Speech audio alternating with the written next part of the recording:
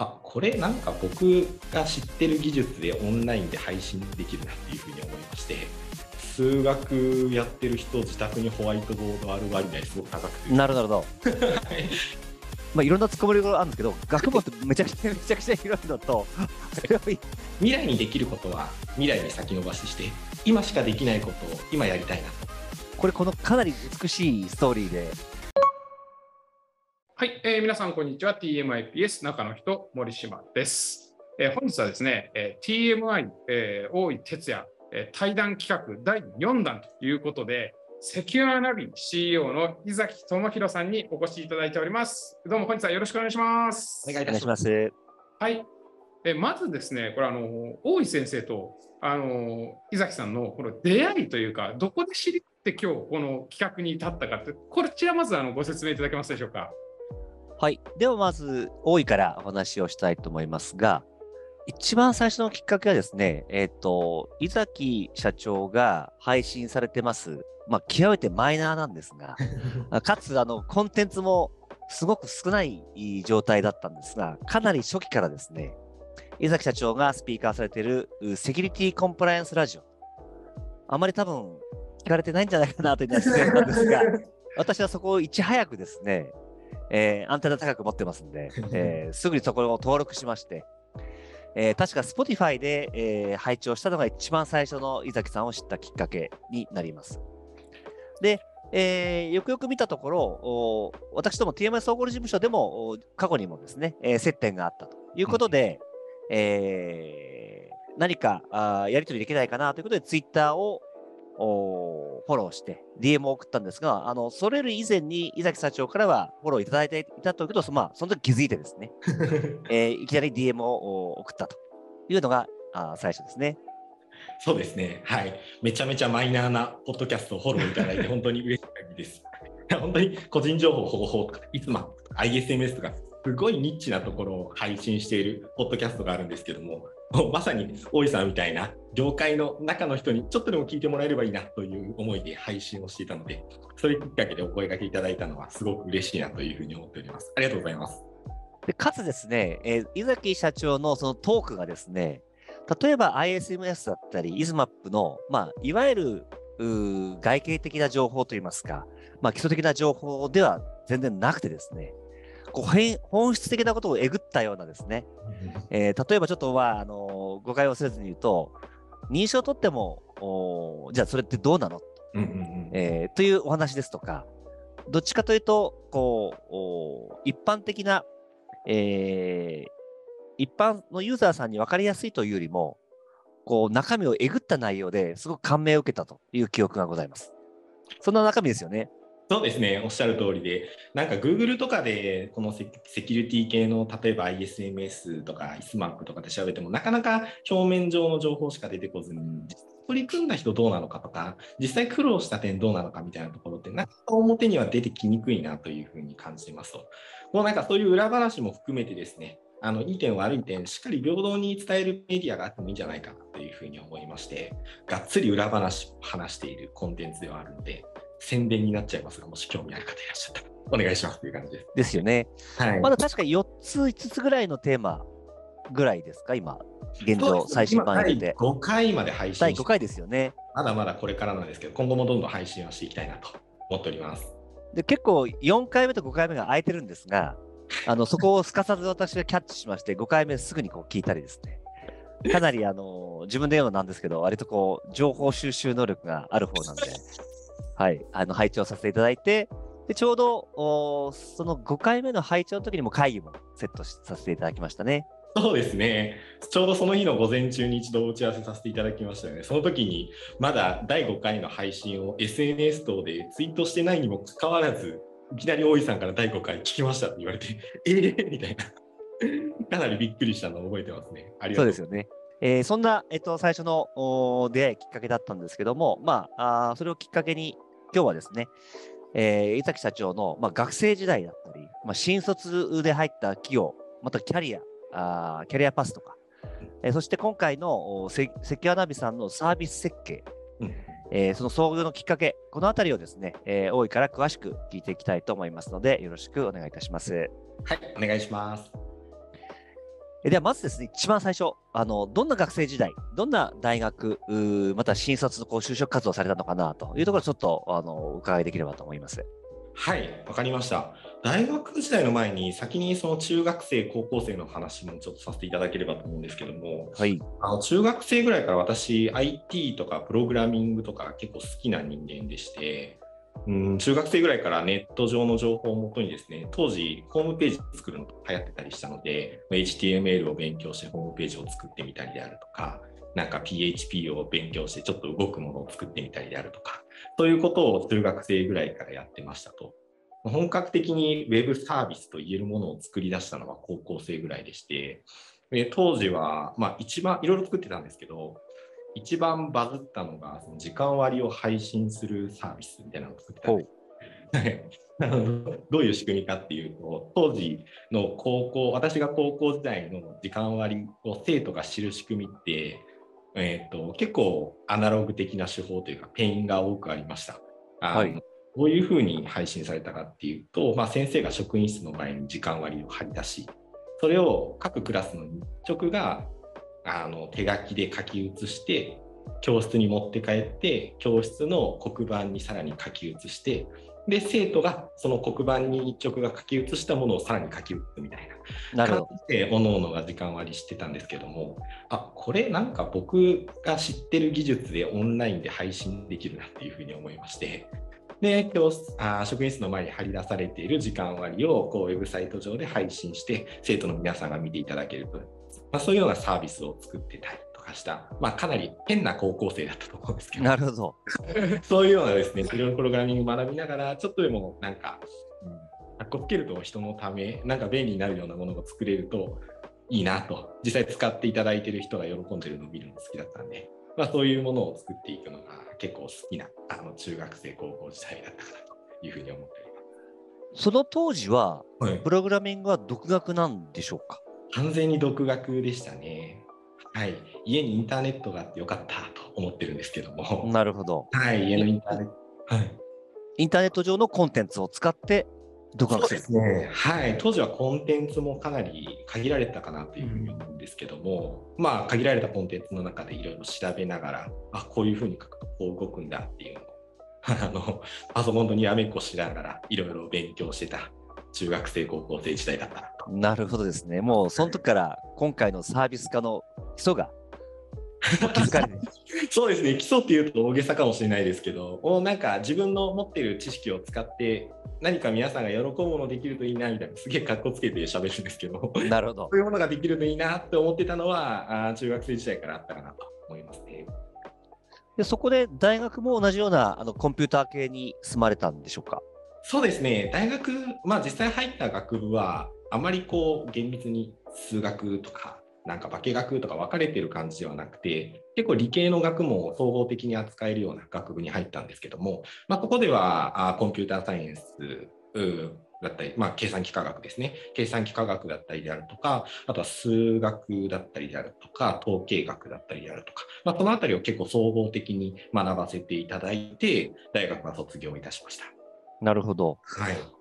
今でこそ割と学生企業だったり、まあ、はい企業サークルだったりあ、ああのまあ、よく見ますけども、うんうんうんうん当時はどっちかというと研究が中心だったんでしょうか？そうですね、まあ、関西の学校だ大学だったので、あまり東京の大学ほどこう企業熱が高くなかったって言いますか、うんインターンとかも身近な会社が、あーその物理的に近くの会社がインターン、学生インターンをそんなに積極的にやってなかったりであるとか、はい。あーまあ関東と関西の情報格差は私の時代は多少あったので、はいはい。はい、当時学生の頃にそういう学生インターンだったりであるとか学生企業っていう概念を知ってたら飛びついてたと思うんです。なるほど。はい、残念ながら当時の大学生の私はそこまで理解が及ばなかったっていうかあまり知識として持ってなかったのでそこまではしませんでしたね。ただ経営。学研究会みたいな堅苦しいサークルには入ってました。それはどういう研究会、何を研究するんですか？あーえー、と経営学、まあ、同じ大学の中に経営学部もあったので、はい経営の皆さんとか結構多い、えーと、サークル研究会だったんですけども本当に経営学の教科書的な内容だったり、まあ、いわゆる、ね、経営分野だったりであるとかその人的試験がどうこうみたいなところだったりであるとか財務会計がどうこうだったりであるとか、まあ、そういったものをこう有志のみんなで集まって勉強したり発表したりし合うっていう 自分で話しててめちゃ硬いサークルだなっていうふうに思うんですそうですよね。まあ、なんで、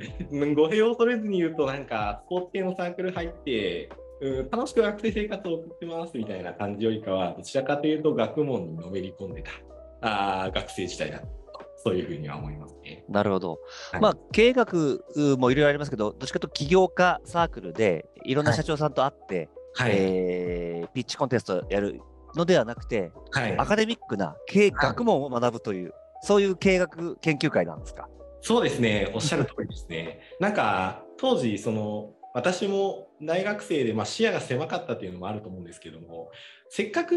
大学生なんだから、どうせビジネス知識って社会人になったら学べるだろうみたいな、ちょっとひねくれた考えをしてたので、なるほど。はい。なんか学生時代に無理にこう、なんかビジネスの世界に飛び出るっていうよりかは、せっかく4年間、ね、あの隣の研究室叩けばすごい学問の先生がいらっしゃるっていう世界に入らせていただいたのでそこではこうアカデミアの世界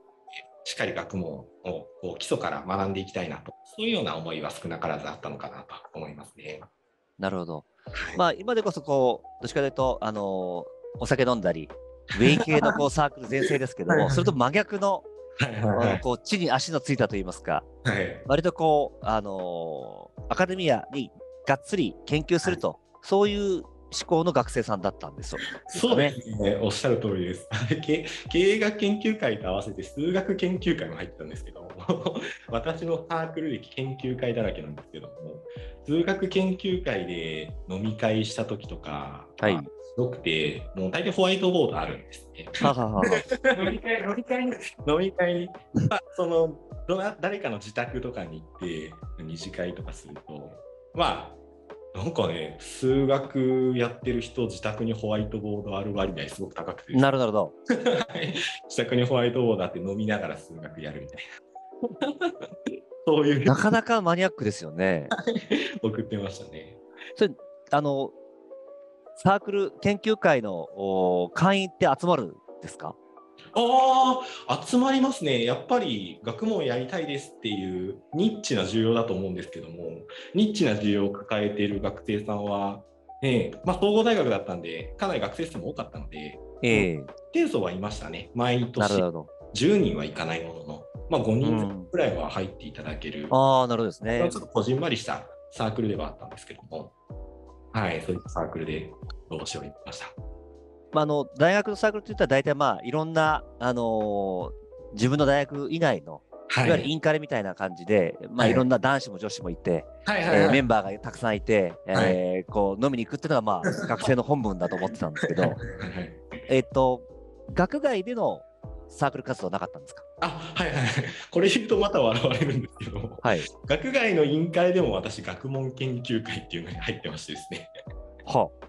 関西の学問好きの学生が集まってこれも有志でですけども有志で集まって自分が勉強している学問自分が専攻している学問をこう3ヶ月に1回ぐらい定期的に集まってみんなでワイワイガヤガヤこうディスカッションをし合うみたいな。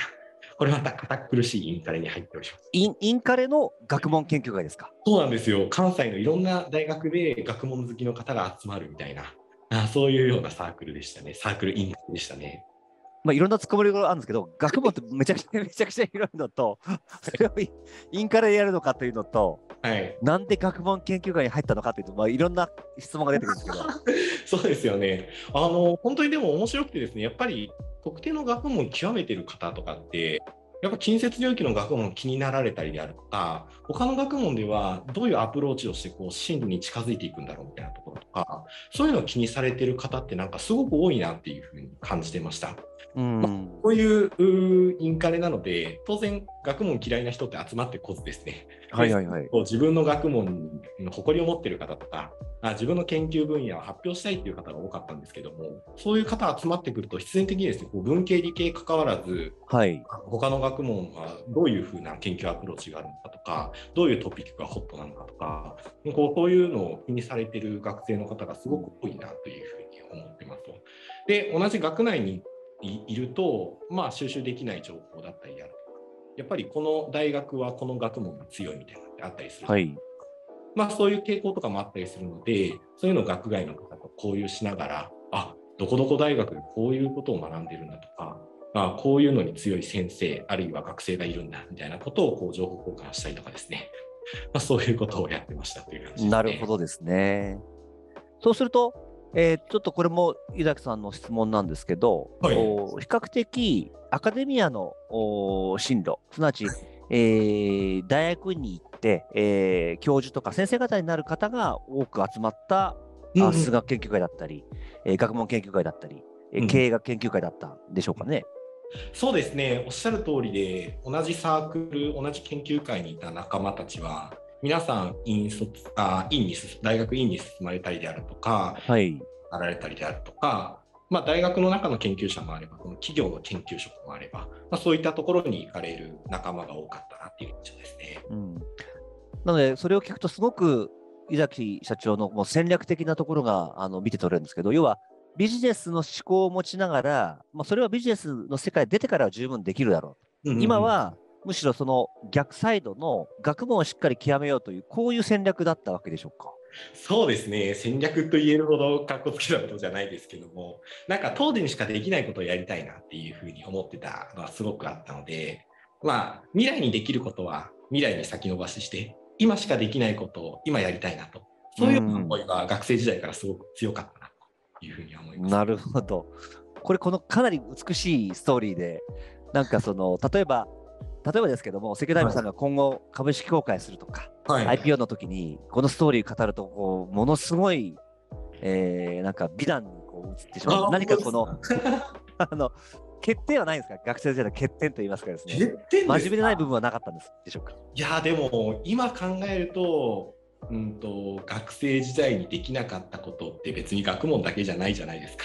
はいはあなんかね仲間内と本当に朝まで飲んだりワイワイ騒いだりとか旅行に行ったりであるとかなんかそういうことをあんまりしてこなかったのでい。うん。なんか学生時代コンプレックスうん、なるほど。なんかもうちょっと大学時代楽しめたなっていうのは遊びきってないぞと、学生時代に。そうですね遊びきってないですね。はい、それはちょっとあるなと思いますね。なるほどですね。わかりました。そこから、あのーまあ、学問をしっかり、えー基礎研究をしっかりやりつつも、どういうその新卒の時代ですね、えーと大まあ、大学には行かないというふうに、はい、えージャッジされて、えーはい。新卒はどういう方向性でこう就職活動されたんですか？あはい。大学院もめちゃめちゃ迷っててですね